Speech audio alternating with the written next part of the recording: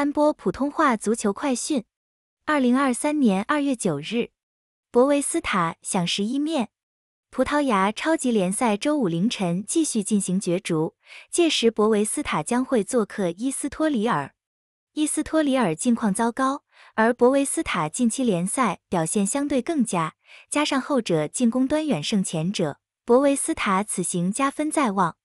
伊斯托里尔经济排名走势总体呈现出下滑趋势，赛季最高试过取得联赛第五的成绩，而目前球队不过是十八轮积十九分，排在第十四位，和降班区球队差距较小。归根到底，球队进攻端难有表现是主要原因，目前均场入球数不过位零点八九球，全葡超均场入球数第五少。近况方面，伊斯托里尔同样糟糕。去年十月二十三日至今，球队联赛战绩为一胜一和七负，其中包括两次三连败。最近五轮联赛甚至多达四场零入球。看来，以替古维亚为首的一众攻击手的却需要多加努力。阵容方面，中场甘宝亚因伤缺席。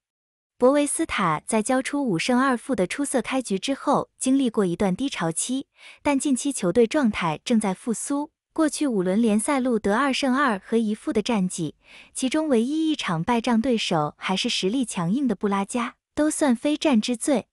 除了近况球队比伊斯托里尔出色之外，客军赛季表现同样比伊斯托里尔出色，目前十八轮手握二十五分，排在积分榜上半区。进攻是球队的赢波本钱。要知道，他们经济进攻端的表现，均场攻入一点二二球，仅次于葡超 Big 四。球队进攻点繁多，多达四人联赛入不止一球，而尼基尔的七个联赛入球是其中的佼佼者。考虑到两队最近六次交手，伊斯托里尔都未尝胜绩，博维斯塔此行剑指三分。感谢你收听安波普通话足球快讯。感谢你的支持，并订阅我们的频道。